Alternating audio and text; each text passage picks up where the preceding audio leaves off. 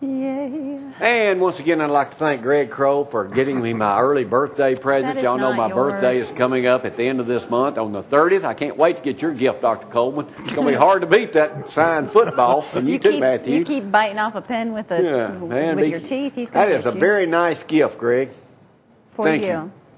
Now, y'all just saw Greg. Give me this. Thank you, Greg. You didn't tell me. You didn't heard me say you're welcome. hey, before we go much further, guys, I want to show some pictures from Wright Kubota. Yesterday, we stopped down there, dropped off a Sports Illustrated with Philip and Pepper. But Pepper's the main star Here's the watchdog Kubota. down at Wright Kubota. If you're ever in there, look out. He'll sound ferocious. He's bad. and there's the bad owner, Philip Wright, who can do no wrong. And here's a picture You of like one of that his name, customers. Don't you? Oh, His she was mopping the floor while I was in there. So Philip Wright, y'all need a good needs Kubota, go by and visit Philip. Big Bama fan. Hey, Matthew, we'll talk a little football in just a moment. First, Greg, what do you got going on? I just got a lot Selling. of some upcoming auctions. We hadn't set the dates on them. Some estate deals. We hadn't set the dates on those yet. Got a bunch of river property, other property listed I listed got a all bunch over. of river property, yours too, but I've got a bunch more river property. Probably I need to sell mine too. well, right now, you know, they got a big controversy going on at Bay Hill too. Uh, hopefully, the county commissioners here will do the right thing and help everybody, provide everybody out there with what they need. Uh, sure what your thoughts law. on that, Greg?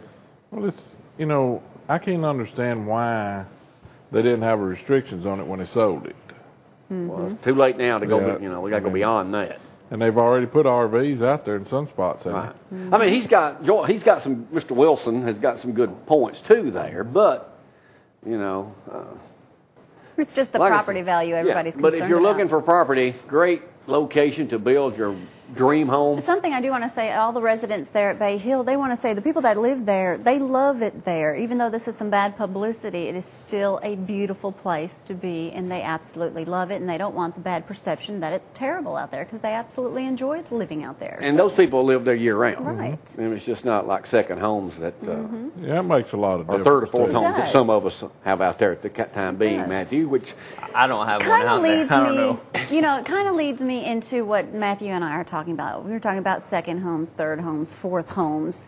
We only need about to one buy a home, fifth right? home. We only need one home, right? Well, yeah, that, that, that's all we need, just a roof over our head for now. so. And something Matthew wants to talk about today is helping out people in need. And we have a full page graphic here where we're all talking about, oh, $200 a month. Well, that can sponsor four children for all of their books for a whole school year. Right. I mean, they're uh, they're trying to replace books at a at a school in Haiti, Mm-hmm. and um, you know the the books cost about fifty dollars per child, and those books will last them several, Several years. years.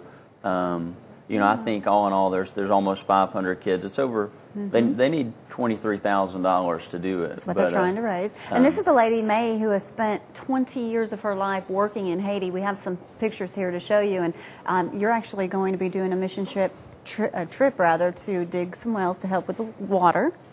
Yeah, we're going to do a couple of different things down there. So I, Mm-hmm. th- I think we're going to going to help with some wells, and we're also going to going to help uh, at this school. I think there's some right there. hmm pictures on here of the of the school school building where they're. Uh, And that's like one of the ditches that they'll bu- they'll you know put the, put in the pipes and everything to where they can at least have running water. But there's some pictures of the children and everything. There it is, getting them all ready. And there's now, a Matthew, is this through your church or is this just through a charitable organization that you're involved in? Well, it's it's with my brother's church. He lives Okay. down in Gardendale, Mm-hmm. and um, and so his church down there. They went down right after the uh, earthquake um, back in January. They That were down there in. February. Now, there's so- a big deal. The, the, the, the Haitians have only received, what, 10% of the total billions of dollars that the government's donated? That's why you have to go through local chapters, I guess you can call them, like what you're doing.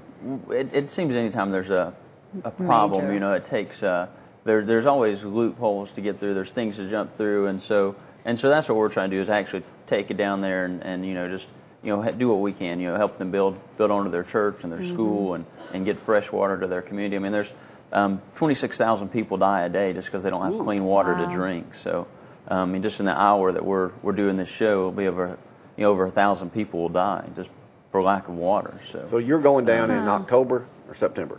September, September 25th. So Unfortunately, I will My not be able to mom's make that trip, birthday. Matthew. But uh, But we're working on catch me, catch me out, outside of football season. I'll ask you again. in So spring. that's why he'll be donating some money for some books. he's going to buy twenty three thousand dollars worth of school books. Fantastic! Hey. I'm glad to hear him. Let's talk about Yeah, just because you gave them that football, Let's talk about something else this morning. In USA Today this morning, and you can enlighten us on this right here. There's a ban. Uh, San Francisco is the first country to do. I mean, first country, first. Uh, they might ought to be another country after what's happening Well, out there city. this week. But uh, it says ban toys at an unhealthy kids meal. A serious move is afoot to force fast food giants to make kids meals more nutritionally viable if they want to sell them to kid luring toys in San Francisco, newly proposed legislation would ban toys from most kids' meals sold at McDonald's, Burger Kings, and other chains unless the meals meet more stringent calorie and sodium limits. They're saying that the only reason kid you can't sell, to, the only way you can sell to a kid is to lure them with a toy. Kids' meals rank among fast food's biggest sales, although kids' meal sales are declining because budget-minded parents opt for dollar menu items instead. Now, y'all do a, y'all do some of that every now and then. We do. I mean, we have some toys. Like we just had the the cows, you know, little plastic cows where you could you could decorate in our kids' meals. You know, a lot of our kids' meal toys, if you will, are, are educational items. They're they're books. They're um, uh, just have facts about the the U.S. and other countries, and and so you know we have lots of educational. And with our kids' meals, you have you have options. Um, you know, fries. You know, if, if the kid or the parent want that, I mean that's They're not talking about Chick Fil A. so well. And that it depends on So how what about they, dogging out your Well, competitor, Matthew? well, Come he's on, get on McDonald's, jump on Burger King both feet, Matthew. This is your chance to shine. Tell them how fattening their food is to kids, huh? Come on. You just know you have a healthy menu, don't you? Right, we've got options. I mean, they can choose milk and, and juice for their drinks, and we've got you know fruit for a side salt, item. apple So juice. Mm-hmm. So, what is the real reason kids are uh, not eating healthy? It ain't the kids' Parents. fault. Parents. I mean, parents have a choice when they go Let Matthew somewhere what say. their their kids eat. I mean, you know, when we take our them. kids, we've got choices in what they eat. I mean, we can get them fries and you know things, or we can get them fruit. So, uh, Okay. but uh, When do parents take responsibility? I don't know. I, Let me give y'all some advice. You ever go there around lunchtime? Try to sit away from the kid area. Most of the time, they're there. Yeah, unless you got children. kids with you. All right, let me. the while we're on the subject of weight, got this one article, and then we'll turn it over to the Coleman Dental Group here. Americans are starting to tell the truth about what they actually eat and weigh. Hmm. Said some people could be lying about their weight. Most people No. always. Greg, I'll ask you a question. Go ahead. How tall are you? Six foot. Six foot. I'm going to measure him. We- I'm 5'11. It says the biggest thing that people say is they're taller than they really are. Really? Anybody got tape? Yes, we have one in the back. Lee, you say you're six feet? And you're not. Oh, yeah, you, okay, I think you're two inches shorter than me. huh? Okay, I'm six. Brad. Okay, all of a sudden I think I'm six three. But this is what the article says. Experts believe 27% is probably an underestimate of people saying that uh, obesity rate is right. They're saying obesity is raised at almost 30%. They say that's an underestimate. We'll see if we're taller. But and most people are starting to come bad. clean about their weight. I weigh 175. I didn't Wake say up. anything. Uh, I'm, I'm 6'3", 175. I'm, I'm Patrick English. How's that? What do you think? That, is that not right? Guessing Matthew, Matthew, with my fine physique, right. how much would you say I weigh? Uh, Poor one Matthew. Eighty-five. There- gotta Matthew. get my point. He I'll be eating you. more chicken before you know it. 190. Close. Give or take a few 190. Don't worry, Greg. I'm not going to embarrass you and ask you. You already told me you're six feet. We're going to measure you in a minute. Okay. Thanks for the football. Look, look, jump up. Come on, Frank. Greg, stand up. I'm not scared about it. Frank, measure, Frank, measure. Take your mic off.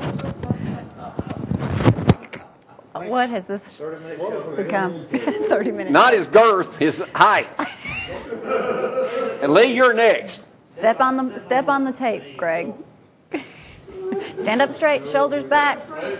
How tall is Frank? Frank. Six one. see, what you kind of still shoes? didn't Hey, wait, You were in platform shoes this morning, didn't hey, wait a minute. Six I'm gonna run camera. Measure Lee. Lee, get over there. Oh, poor Lee. No, uh-uh. Come here, Lee. Get over there, Lee. All right, run camera. You better not be lying to me. Huh? Got any scales in here? Let's see about that 185. 190. Frank, our show. Stand up straight, All Ah. six feet. Okay, Frank, you could have lied a little bit here, and I could have more fun with this segment. He's got shoes on. That makes him 5'11". He's wearing heels. We got to take a break. We'll be right back in just a moment. Coleman's about to take over. Y'all hang on.